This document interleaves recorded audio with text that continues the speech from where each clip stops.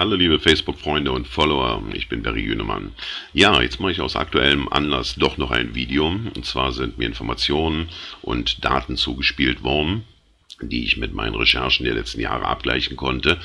Und da geht es um die Thematik Ebola-Depopulation der Menschheit. Ich habe dazu drei Tab-Seiten erstellen müssen und habe nur 15 Minuten Zeit. Das gehe ich relativ zügig durch.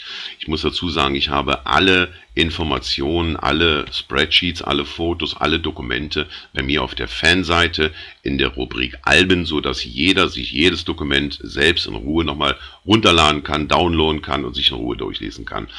Die Situation Ebola ist äh, großteils bekannt und da möchte ich auch nicht weiter drauf eingehen. Man kann hier nochmal die komplette Story lesen, wo es herkommt, äh, wie es dementsprechend sich verbreitet hat, wo die Problematiken liegen und so weiter und so weiter. Hinzu kommt, ähm, dass jeder mein Video kennen wird, nämlich von dem ja vermeintlich nicht vorhandenen Patienten, so dass man hier in der Quarantänekammer sieht, dass dort gar kein Patient drin ist. Ein Foto musste nachgestellt werden, dass man da überhaupt nochmal dementsprechend einen Patienten sieht. Dann kennt man also auch das Foto, was ich gepostet habe, wo wir die Ankunft eines Patienten in Dallas sehen und äh, alle sind sie also in ihren äh, entsprechenden Sicherheitsanzügen und hier der schwerkranke Viruskranke und hier haben wir also einen ja, ne, Mann mit einem Klemmbrett, der zumindest seine Augen geschützt hat vor der Sonne, aber ansonsten gänzlich ohne Schutz ist. Dazu muss man sagen, dass es auch schon weitläufig bekannt ist, dass äh, die US-Regierung ein Patent auf das Ebola oder sogar auf mehrere Formen des Ebola-Virus hat, genauso wie auf HIV, AIDS und äh, Schweinegrippe etc. pp. Ähm, der nächste Punkt, ich habe das Ganze als Depop-Virus benannt, also ganz einfach als Depopulationsvirus.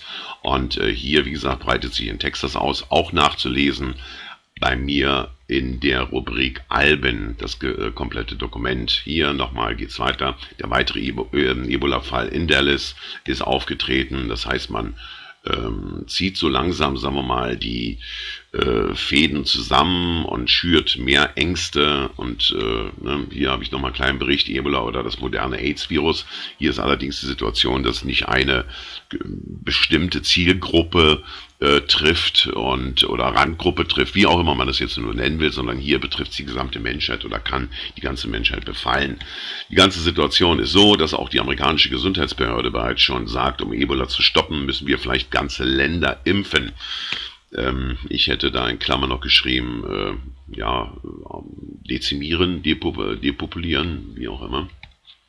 Das Ganze ist also nicht nur eine äh, Aktion, um ja, die Menschen auszudünnen, sondern auch gleichzeitig eine genetische Veränderung am Genpool, am Genmaterial der Menschen durchzuführen, was hier Wissenschaftler ganz klar bestätigen, nämlich die Übersetzung der entscheidenden Textpassage.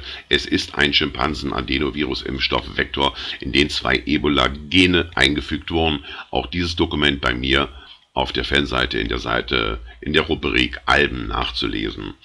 Ähm, die Vorbereitung ist natürlich dementsprechend, und zwar bereitet sich die US-Regierung auf 200 Millionen Tote in den USA vor. Viele meiner Follower haben gesagt, mein Gott, das kann doch gar nicht sein, ist doch gar nicht möglich.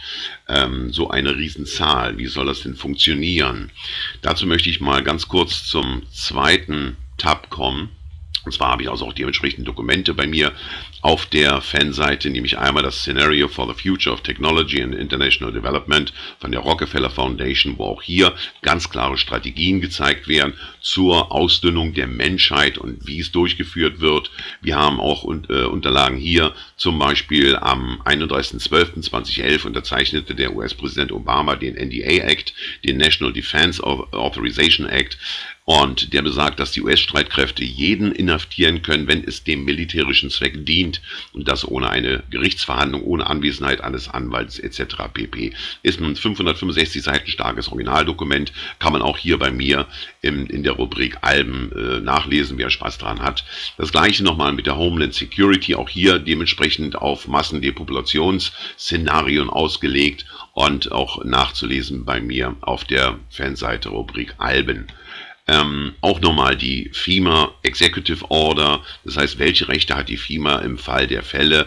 Und ähm, das ist also ganz äh, äh ne, Executive, Executive, Order, sorry, äh, Nummer 12, 14, 8, äh, also es ist äh, für jeder, für jede Situation gibt es da ganz klare Weisungen, was getan werden kann. Dann ist vor, ähm, na, es war gut so zwei Jahren ein Dokument aufgetaucht von der World Resource of Populations, wo, ähm, ich sag mal, die Länder der Erde ja in, in, in Dollar aufgerechnet werden. Wie ein, ja, wie ein, wie ein Buchhalter hat man dort dementsprechend alle Länder aufgeführt und äh, gut, man fragt sich für wen. Ne? Sollen die Länder verkauft werden oder gibt es eine wirtschaftliche Rechnung? Gut, ich komme jetzt aber zum eigentlichen Thema und zwar ist das meine dritte Tab-Seite, nämlich die Seite Deagle.com. Deagle.com ist ein militärisches Logistikunternehmen, die äh, dafür verantwortlich sind, dass entsprechende ähm, ja, ich sage jetzt mal, äh, Aufzeichnungen angelegt werden über militärische äh, Flugzeuge, über Seestreitkräfte, äh, Landstreitkräfte, selbst Weltraumstrategische äh, äh, Vehikel, kommerzielle Fluggeräte, äh, Waffen, Raketen und, und, und, und, und. Also da wird quasi Buch geführt über alles, was dementsprechend irgendwo dem Militär dient oder dem Militär zur Verfügung gestellt wird. Die Ressourcen, also sprich die äh, äh Quellen, nicht Ressourcen, sorry, die, die Quellen, die kann man also sehen und zwar, ähm, wenn man da die Links drückt, dann landet man also bei der offiziellen Regierungsseite der USA oder zum Beispiel bei dem Department of Defense. Das entscheidende Dokument ist aber dieses, ähm, ja, ich sag mal, ähm, ja, Depopulations-Spreadsheet, äh, würde ich es mal fast nennen.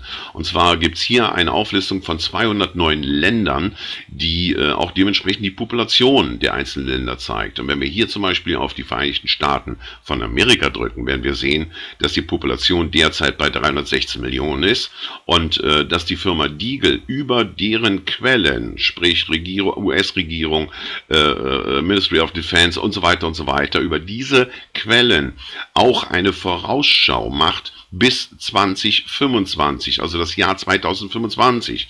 Und danach sieht die Population der Vereinigten Staaten so aus, dass es dort nur noch 69 Millionen gibt. Also Differenz 316 Millionen aktuell.